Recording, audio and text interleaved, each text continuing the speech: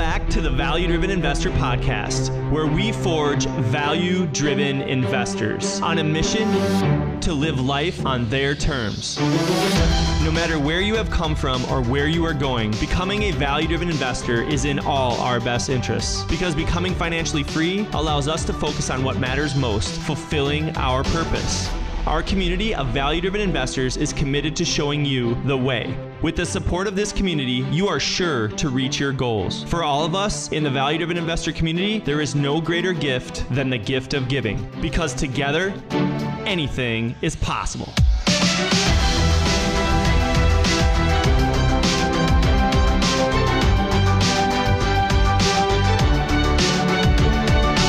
I want to talk about how I ever came up with the value driven investor community. The idea. Where did it come from? What does it mean? How does it even work? Those are great questions because those are questions that there were like seeds planted in my head. And for years and years, I thought about it. And I thought about it as a real estate investor going through the process over and over and over and over. And as a person who really likes to give back, I thought about it like, man, how would I teach my kids to become a real estate investor? If I wanted to give them everything I knew, how would I put it into a book? How would I put it into a training manual? How would I deliver to them so that they could learn about everything that their dad's doing? And if they wanted to do it, they could. Those were the seeds I planted in my head for years and years and years. And now I finally come up with the answers and the plan to do it. And that's the value driven investor. Now, the value driven investor is a key statement that I've brought into my life about five or six years ago. And value driven has so many different meanings. And value driven investor is an identity. But for the value driven, there's two different things that I really want to clarify right now in the very beginning. We spell value driven investor two different ways value driven investor, all separate words. And that's about going out and finding value in things. Meaning, what does something cost? I want to buy it low and sell it high. I want to buy it at a discount or buy it in disarray, add value to it by fixing it up, improving it, and then be able to sell it at a higher price. I want to find value in a product that maybe is being sold at a discount, wholesale, but then I can take it and sell it at a retail price. That is value driven investor. Separate words. Now, the other way you're going to see us spelling value driven investor is value hyphen driven investor. Why? Because when you add the hyphen, what that means is is that you're a value driven person. Principles, values, how you look at the world, how you treat others. Because here at the value driven investor, personally, I've had some things happen in my life that have knocked me down, and I've had to find ways to get up. One of them, my daughter Shanley having type 1 diabetes. And I found a way through JDRF and our organization, Team Sugar Shay, which you can check out at teamsugarshay.com. I found a way and something that I don't know if I would have ever found if it wasn't for my daughter and for her circumstances and now our family circumstances. I don't know if I would have found this calling. And that's why I added the hyphen. Because value hyphen driven investor is about principles, it's about beliefs, it's about what do you stand for? Who are you? How are you going to treat others? And in doing so, how are others going to treat you? And that's why the value driven investor, that's why the name, because it means something. So then after that, I always thought, man, life on your terms. I can tell you this from the second I was born, and you can ask my mother about this, it was life on my terms. I think I drove my parents nuts. I remember running, and my mom will laugh about this story and also want to kill me at the same time. But as a young kid, countless times my mom would bring me to Target or a retail store. And countless times I would run away from her and I would hide underneath the clothes racks. And then once I realized that she couldn't find me and she walked away and I could hear her voice go away, I would sneak out of the clothes racks. I walk up to the information booth, and this is back before cell phones, and I would say, "Hey, my mom lost me. You're going to need to intercom her and tell her where I am." And I did it so many times that the people at the information booth actually knew me by name. And it was a game for me. And my mom would come over every single time, fired up. What are you doing, Tim? You're giving me a heart attack. You got to quit doing that. And for me, that that was me. Because I always wanted to be creative. I always wanted to do things on my terms. And my whole life, I've lived it that way.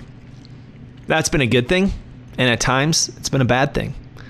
It's got me in trouble, and it's allowed me to be the entrepreneur that I am today. So, when I came up with the name Value Driven Investor, the next thing that came to my mind that was authentically me, and I feel like there's so many other entrepreneurs and investors that can relate.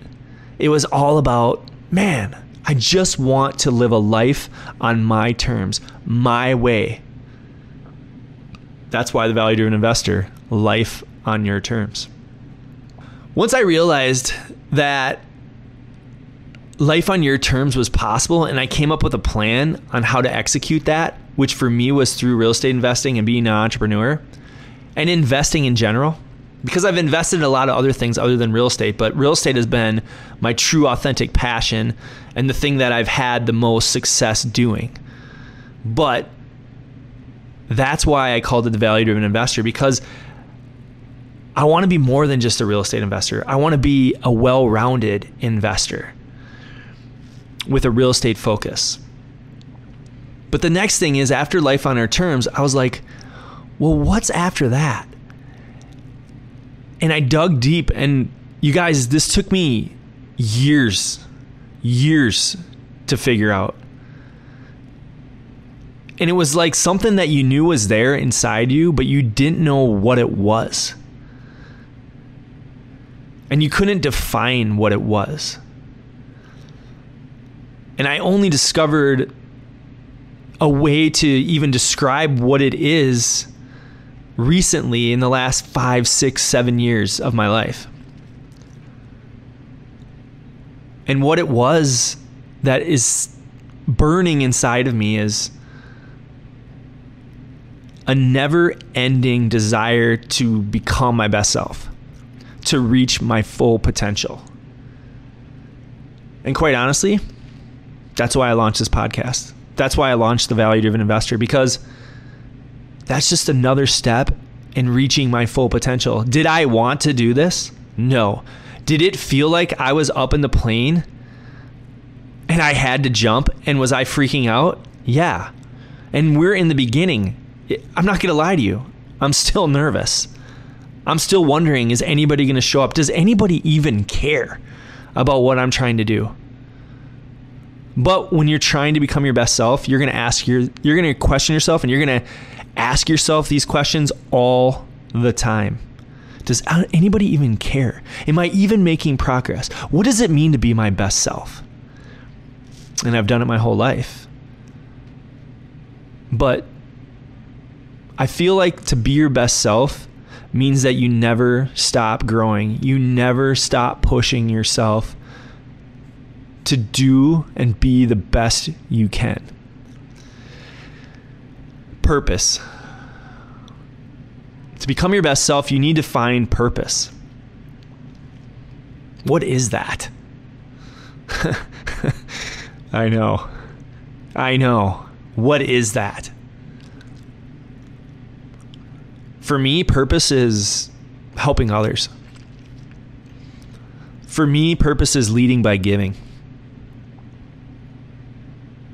For me, purpose is treating others the way I want to be treated. And in times, the way they want to be treated. Purpose and leadership is about coming in last and putting everybody else first. Is that hard? it's probably the hardest thing you'll ever do. It's the hardest thing I've ever done. It's still the hardest thing I have to do. Because being a leader is not about being first. And one of the best analogies for leadership that I've ever heard is if you watch a pack of wolves. There's one wolf that's always leading, maybe out a little bit of farther ahead. And if you looked at a picture, you'd be like, oh, that's the leader. That one in the front, look at him. You can just tell. He's leading the pack and everybody's following. but what I realized and what I learned is that in a wolf pack, the leader isn't first. The leader isn't in the front. The leader is in the back. Because if the pack gets attacked from behind, he'll be there to defend it. If someone falls behind and can't keep up, he'll be there he'll be the one to pick them up and help them forward. In a wolf pack, the leader's in the back. Man, I love that. It's just so true. so true. That's what the value driven investor is all about. That's what becoming your best self is all about. And that's what this community is all about. Is it a huge thing to live up to? Yeah. Probably the reason why I'm scared as hell to have to try to live up to it. But I can't become my best self. I can't reach my full potential if I don't try. And that's why I'm on today. Because I'm trying and I want you to join me. In our community, we're going to offer new opportunities, we're going to offer new strategies, we're going to have guest speakers, we're going to talk about deals, we're going to hopefully have deals, we're going to create fresh new resources and strategies through our network and through everyone in this community. Everything you need to become a successful real estate investor is what we hope to bring you in the value driven investor community. Now, the next thing I thought about was if you're trying to get somewhere, usually it's best to have a map. I think we all can understand that because how often do we pull up our Google Maps, our GPS, and say, hey, I'm looking to get over here?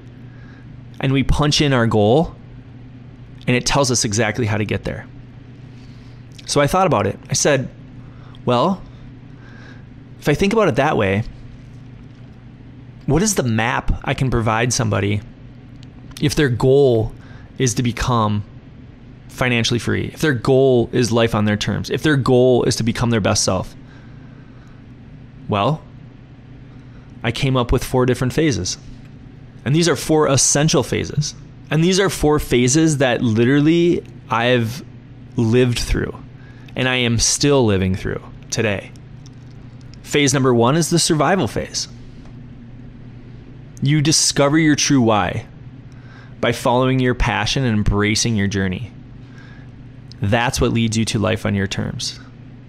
But in the survival phase, that's where money means the most. Because when you're in the survival phase, it's like Maslow's hierarchy of needs. At the end of the day, you need food, you need shelter. You need clothing. You need money to have all of it. That's the survival phase. We've all started there. Many of us have gone back there. And some of us have never left there. The survival phase. So, Murph, how do I get out of the survival phase? What's next? Well, on the journey there's step number two. Step number two is the thrive phase. In the thrive phase, you execute your purpose driven plan. You're growing mentally, physically, and financially by leveraging your value driven investor relationships. Those relationships allow you to build a life where your money works for you, not you working for money. See, that's the thrive phase. Now, many people will hit the thrive phase and they'll think they made it. I'm retired. Life is fantastic. But the reality is, the thrive phase, you're still trying to figure out how you can get money working for you and not you working for money. Because there's a lot of people out there that make great money doctors, lawyers, attorneys, real estate agents, salespeople, upper management, C suite. Problem is the second they stop working, the second they stop getting that check from their W 2 job or their self employed job, the money stops coming in and they stop thriving. And at some point, they might go back from thriving to surviving. And we don't want that. We want to move forward. So, how do I move forward, Murph? Well, you start at the survive phase, phase one. You move to the thrive phase, phase two, and you get money working for you and not you working for money. Then you move to phase three, which is the invest phase. The invest phase is where you build assets that earn you secure cash flow, providing you stability and financial freedom. See, that's the kicker. It's so simple, but it's so hard. Cash flow. Cash flow equals financial freedom. How? That is the question. And that's the question that we want to answer in this community. That's the thing, the value we want to deliver in this value driven investor community. How? How do I get financial freedom? How do I find cash flow? How do I make it happen? How do I reach phase three, the invest phase? But we're not done yet. There's four phases to every great map. And the last phase in the value driven investor journey is legacy, phase 4. Once you're you've left the survival phase, it's like a weight comes off your shoulder. Once you've left the thrive phase, it's as if the doors have opened to all your possibilities. Once you have mastered the invest phase, which I can tell you right now, I have not fully mastered the invest phase.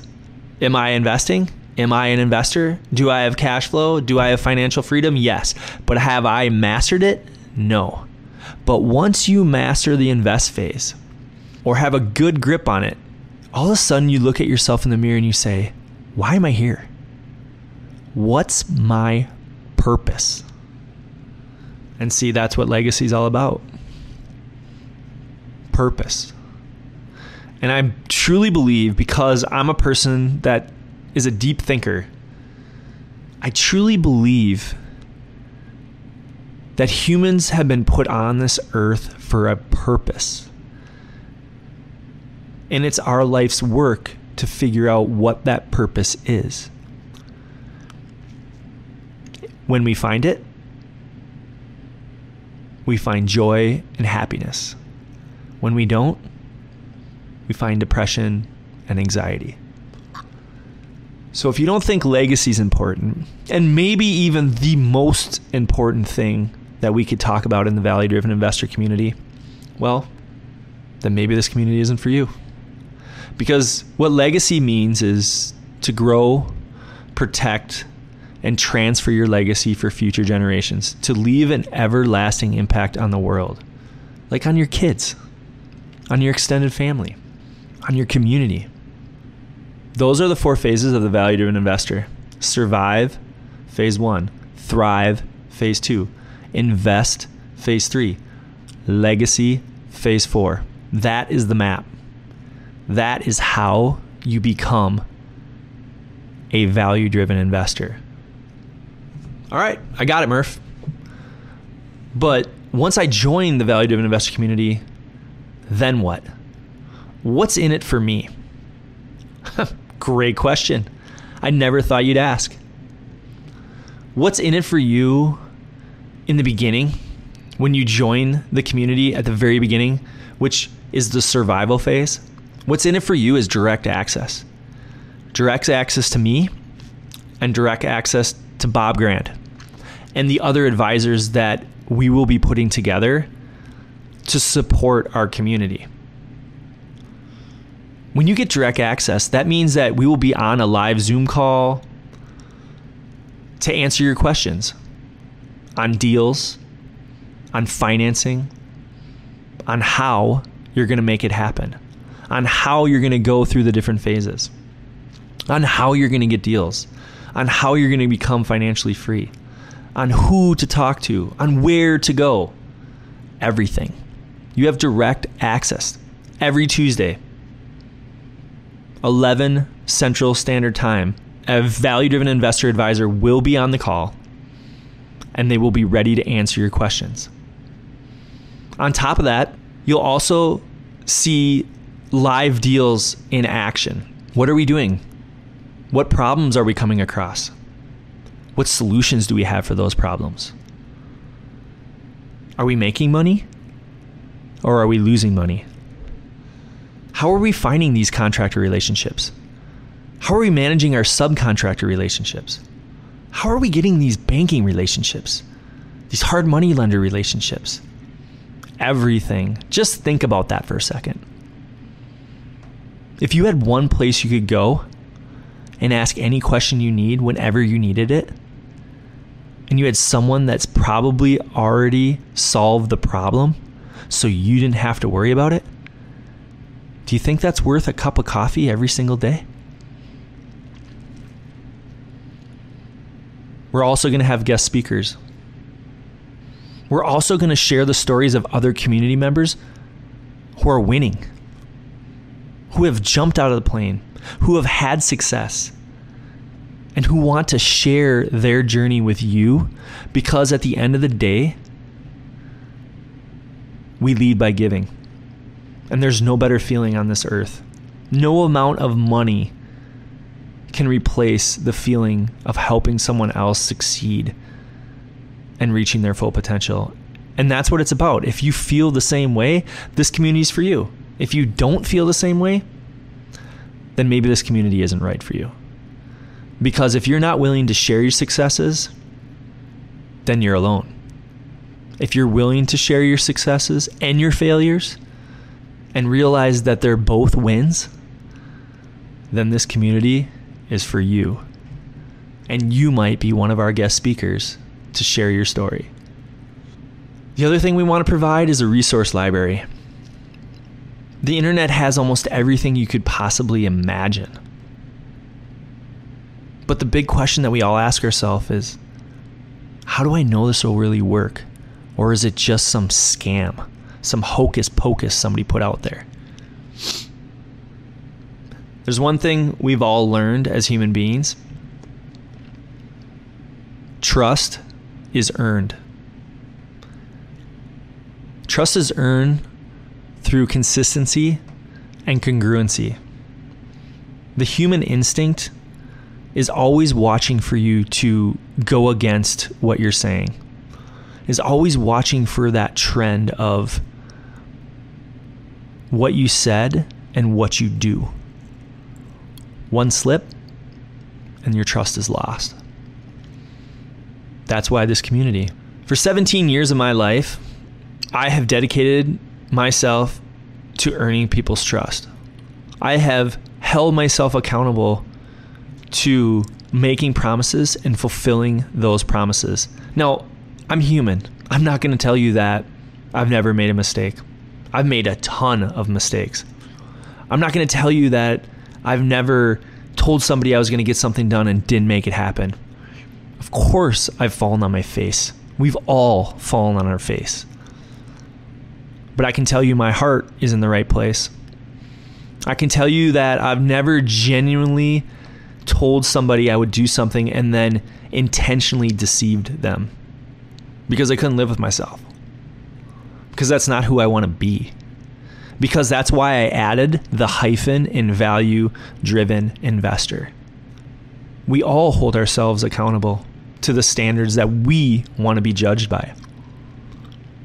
If you can't be consistent with yourself, if you can't be self aware enough to understand what you're really doing to affect others, then others will let you know through their actions. These are just a couple of the things that you're going to receive when you join this community, this exclusive community. And we're excited. And we hope that you visit our webpage, valuedriveninvestor.com, and we hope that you sign up. But if what I've said right now doesn't resonate with you, if it doesn't feel right, then I don't think you should sign up. I don't think this community is for you because this community is not for everyone. It's kind of like the Navy SEALs. At the end of the day, how many people actually become a Navy SEAL? Very, very few. But at the end of the day, how many people try? Not too many. Because it just doesn't feel right. But if you're one out there where you just have that burning desire and what I've said resonates with you, and you know that when you step at the edge of that plane, you're gonna jump. That's not a question. Kind of like my boy Bob Grant. I never questioned for a second if he was jumping out of the plane when he asked me about real estate investing. That's the reason why I asked him to be a co host on the podcast because whenever I've ever asked Bob Grant, hey, bud, can you do this for me? Can you do this with me? Can I depend on you? He's like, I'm in, I'm there. You can depend on me. And every single time, I've been able to. If you're like that, then this community is for you. Because I think if we can put together enough people like that, anything is possible. Thanks for listening to the Value Driven Investor Podcast, where we lead by giving. For more information about our community and what's new, visit valuedriveninvestor.com. The Value Driven Investor Podcast was produced by Digital Legend Media in Minneapolis. Build your legend, digitallegendmedia.com.